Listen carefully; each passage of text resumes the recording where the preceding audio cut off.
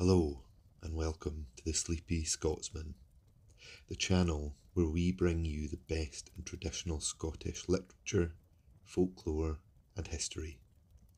Today, we're delighted to present to you the story of Thomas the Rhymer, one of the most famous and enduring fairy tales from Scotland's rich cultural heritage. For those of you who may not be familiar with the story, Thomas the Rhymer tells the tale of a man who is visited by the Queen of the Fairies and taken on a magical journey to her realm.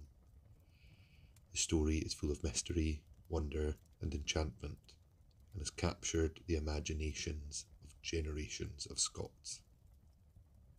Here on the Sleepy Scotsman, we're dedicated to keeping the art of traditional Scottish literature and folklore alive we believe that these stories have the power to soothe the soul and transport us to a different time and place. So sit back, relax, and let us transport you to the magical world of Thomas the Rhymer. Thomas the Rhymer. Of all the young gallants in Scotland in the 13th century, there was none more gracious and debonair than Thomas Lermont, Laird of the Castle of Ercildown in Berwickshire. He loved books, poetry, and music, which were uncommon tastes in those days, and, above all, he loved to study nature and to watch the habits of the beasts and birds that made their abode in the fields and woods around his home. Now, it chanced that one sunny May morning, Thomas left his tower of Ercildown and went wandering into the woods that lay about the Huntly Burn, a little stream that came rushing down from the slopes of the Eildon Hills.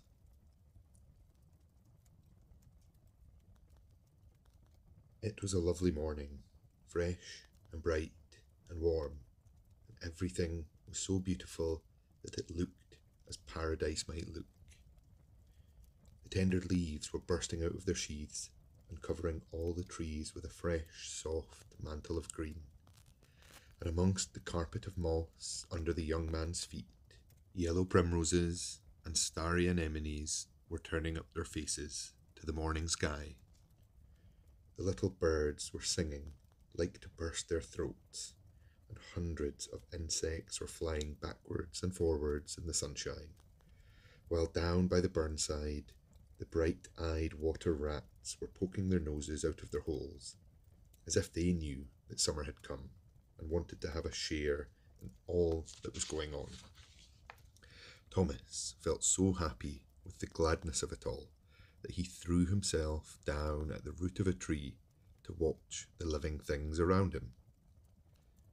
As he was lying there, he heard the trampling of a horse's hoofs as it forced its way through the bushes, and looking up, he saw the most beautiful lady that he had ever seen coming riding towards him on a grey palfrey. She wore a hunting dress of glistening silk, the colour of the fresh spring grass, and from her shoulders hung a velvet mantle which matched the riding skirt exactly. Her yellow hair, like rippling gold, hung loosely round her shoulders, and on her head sparkled a diadem of precious stones, which flashed like fire in the sunlight. Her saddle was of pure ivory, and her saddle cloth of blood red satin, while her saddle girths were of corded silk and her stirrups of cut crystal. Her horse's reins were of beaten gold, all hung with little silver bells, so that as she rode along, she made a sound like fairy music. Apparently, she was bent on the chase, for she carried a hunting horn and a sheaf of arrows, and she led seven greyhounds along in a leash while as many scenting hounds ran loose at her horse's side. As she rode down the glen, she lilted a bit of an old Scotch song, and she carried herself with such a queenly air, and her dress was so magnificent that Thomas was like to kneel by the side of the path and worship her, for he thought that it must be the Blessed Virgin herself. But when the rider came to where he was and understood his thoughts, she shook her head sadly. I am not that blessed lady as thou thinkest, she said. Men call me queen, but it is of a far other country, for I am the queen of fairyland, and not the queen of heaven. And certainly it seemed as if what she said were true, for from that moment it was as if a spell were cast over Thomas, making him forget prudence and caution and common sense itself.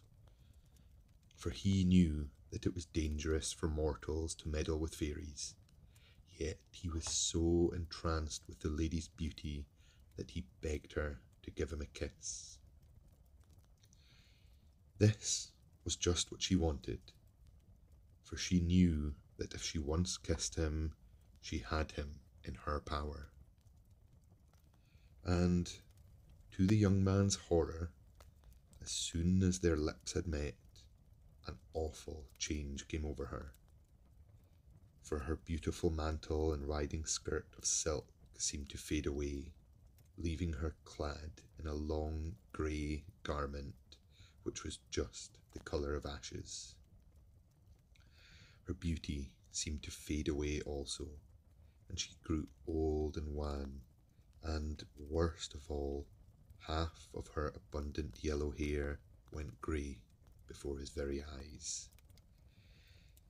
She saw the poor man's astonishment and terror, and she burst into a mocking laugh.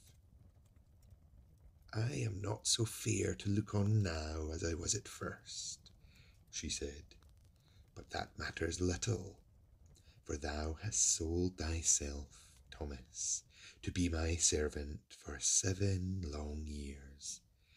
For whoso kisseth the fairy queen must e'en go with her to fairyland and serve her there till that time is past. When he heard these words, poor Thomas fell on his knees and begged for mercy. But mercy he could not obtain, the elfin queen only laughed in his face and brought her dapple grey palfrey close up to where he was standing. No, no, she said in answer to his entreaties. Thou didst ask the kiss, and now thou must pay the price. So dally no longer, but mount behind me, for it is full time that I was gone. So Thomas with many a sigh and groan of terror, mounted behind her.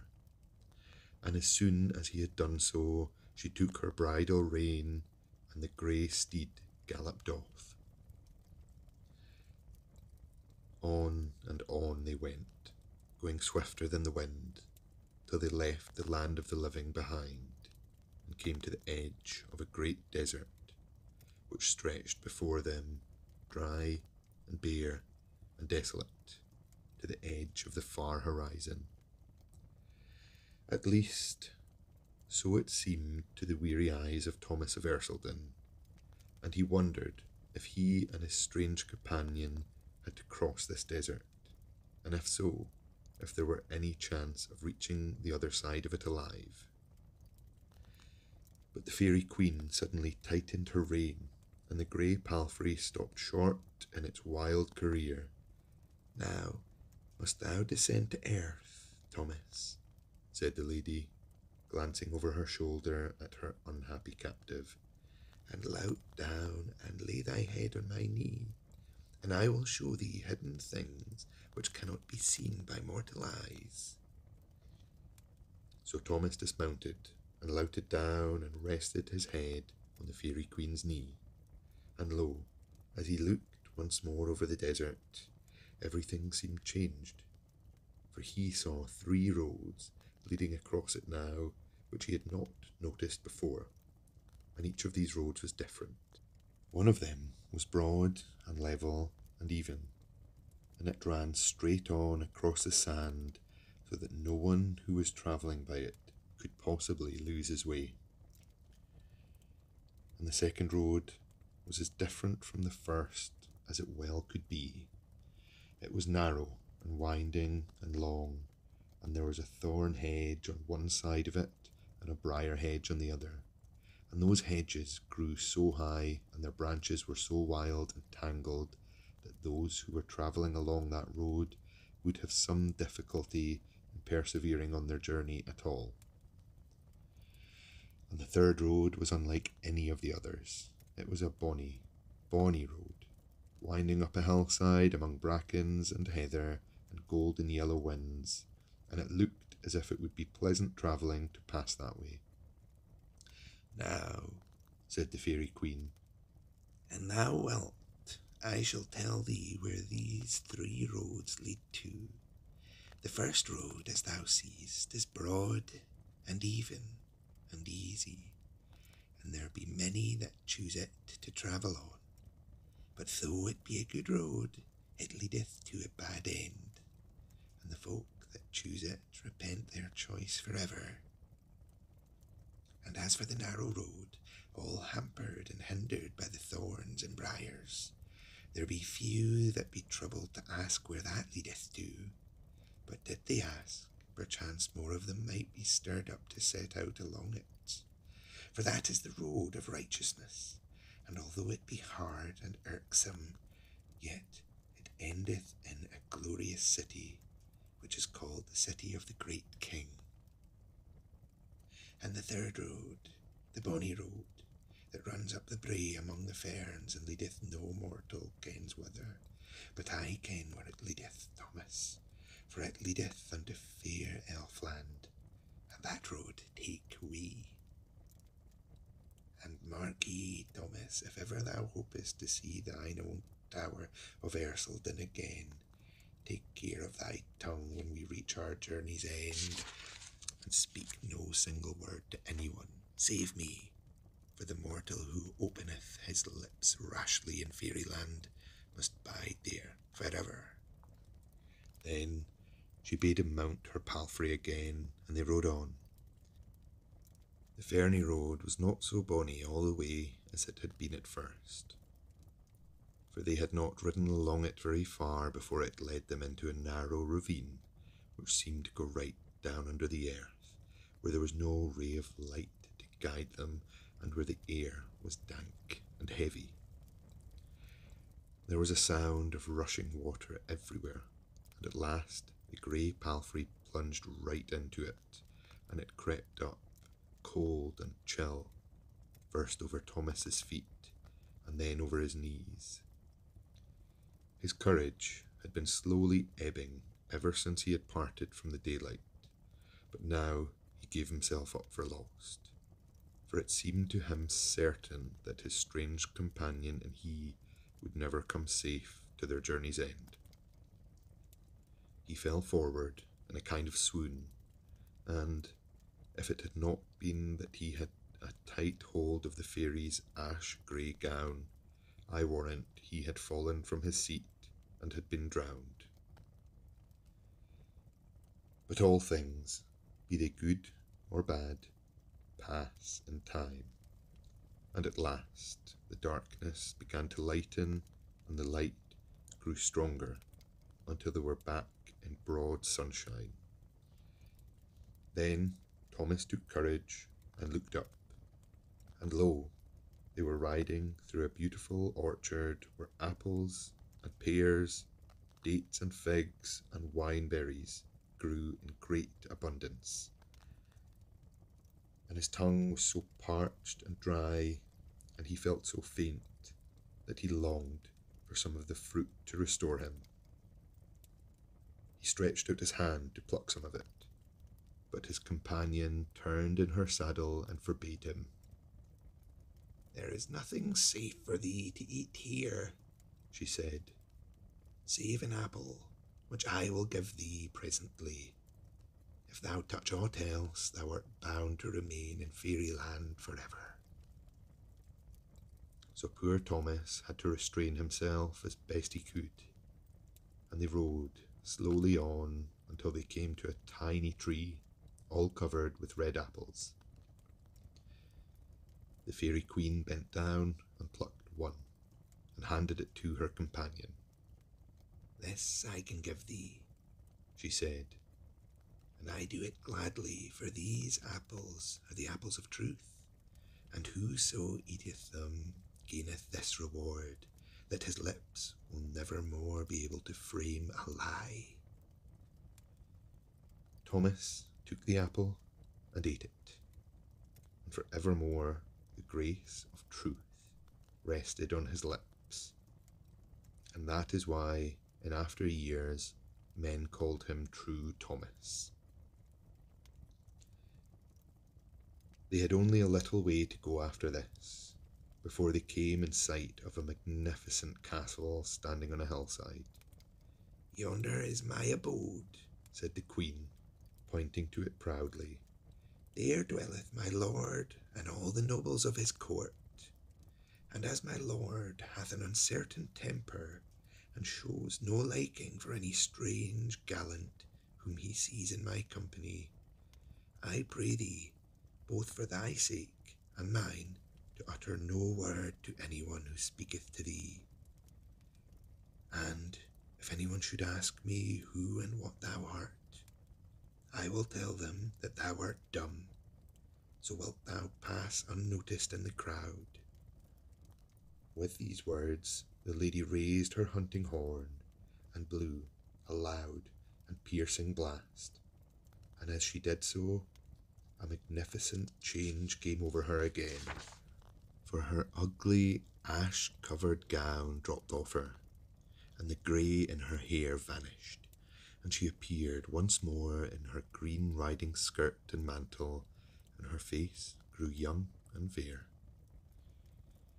And a wonderful change passed over Thomas also, for as he chanced to glance downwards, he found that his rough country clothes had been transformed into a suit of fine brown cloth, and that on his feet he wore satin shoon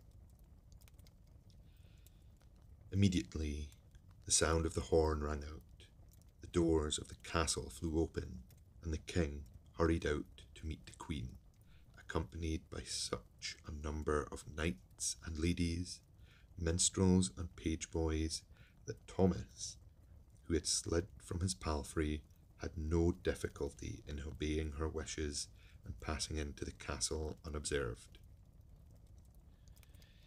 Everyone seemed very glad to see the Queen back again, and they crowded into the great hall in her train, and she spoke to them all graciously and allowed them to kiss her hand. Then she passed, with her husband, to a dais at the far end of the huge apartment, where two thrones stood, on which the royal pair seated themselves to watch the revels, which now began.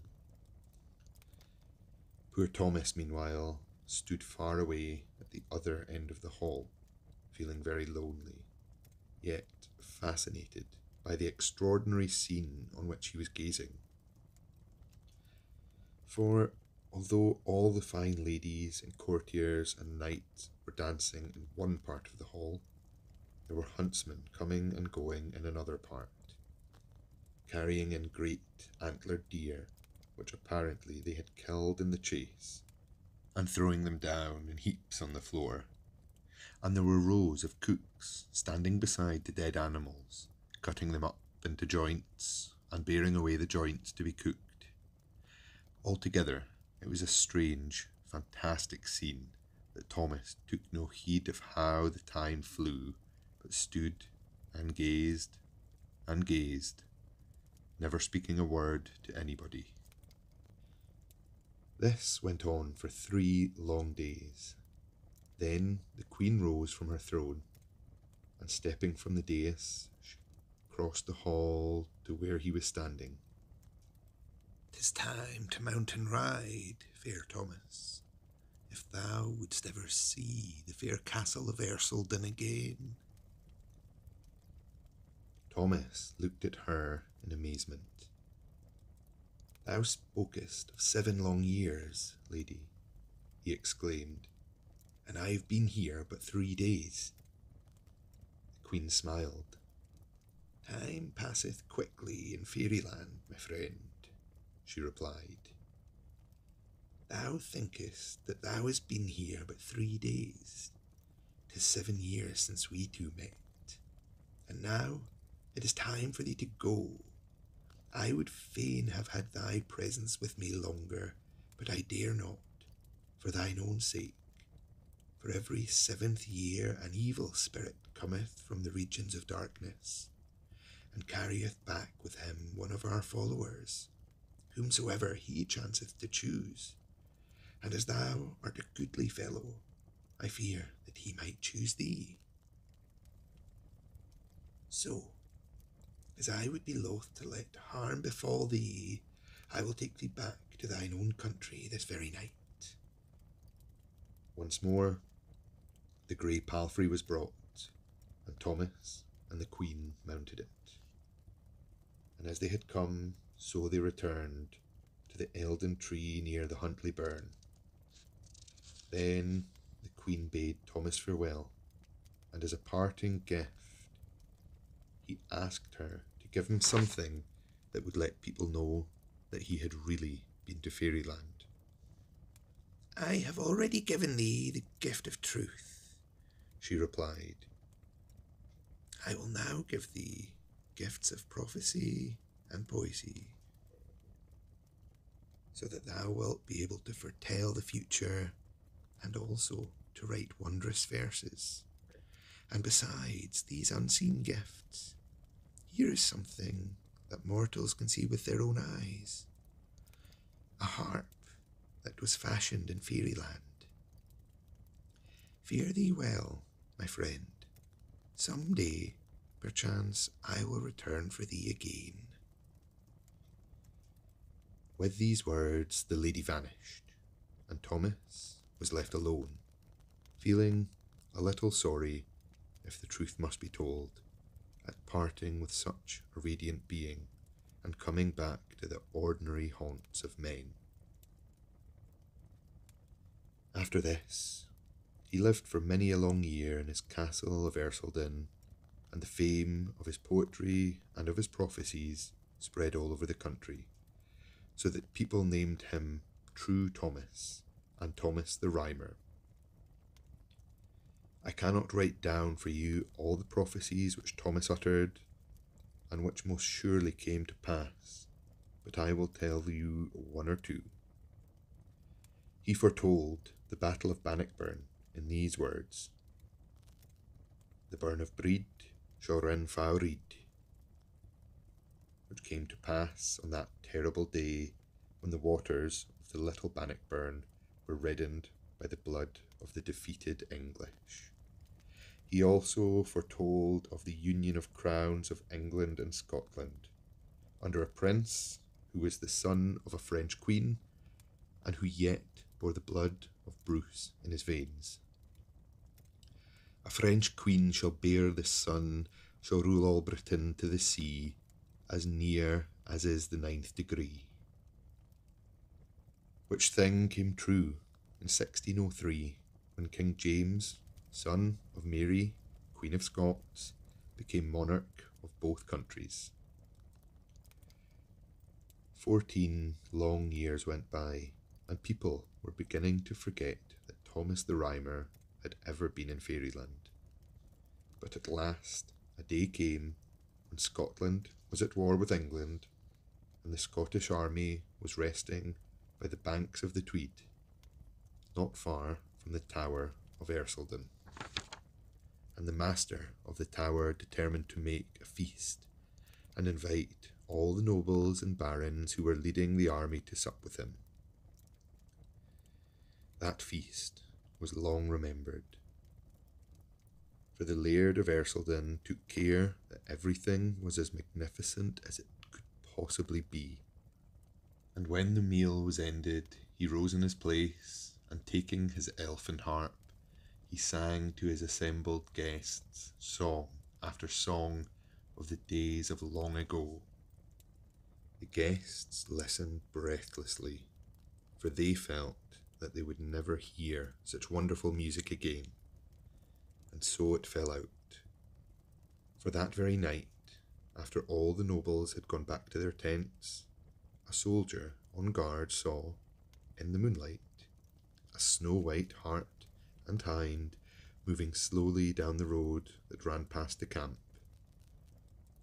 There was something so unusual about the animals that he called to his officer to come and look at them, and the officer called to his brother officers, and soon there was quite a crowd softly following the dumb creatures who paced solemnly on, as if they were keeping time to music unheard by mortal ears. There is something uncanny about this, said one of the soldiers at last. Let us send for Thomas of Ercildown. Perchance he may be able to tell us if it be an omen or no. Aye, send for Thomas of Ercildown, cried everyone at once. So a little page was sent in haste to the old tower to rouse the rhymer from his slumbers. When he heard the boy's message, the seer's face grew grave and rapt. "'Tis a summons," he said softly. "A summons from the Queen of Fairyland. I have waited long for it, and it hath come at last." And when he went out, instead of joining the little company of waiting men, he walked straight up to the snow white hart and hind. As soon as he reached them, they paused for a moment, as if to greet him.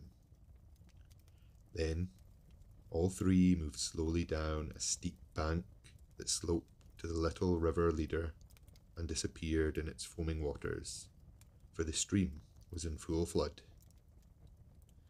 And although a careful search was made, no trace of Thomas of Ercildown was ever found, and to this day the country folk believe that the hart and hind were messengers from the elfin queen, and that he went back to fairyland with them.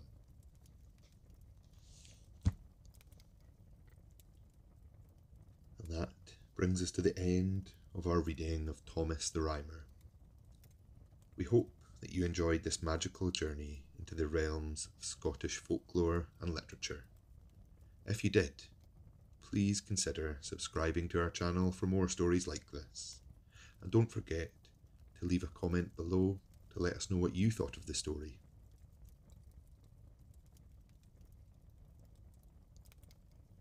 Thank you for listening, and we'll see you again on the Sleepy Scotsman.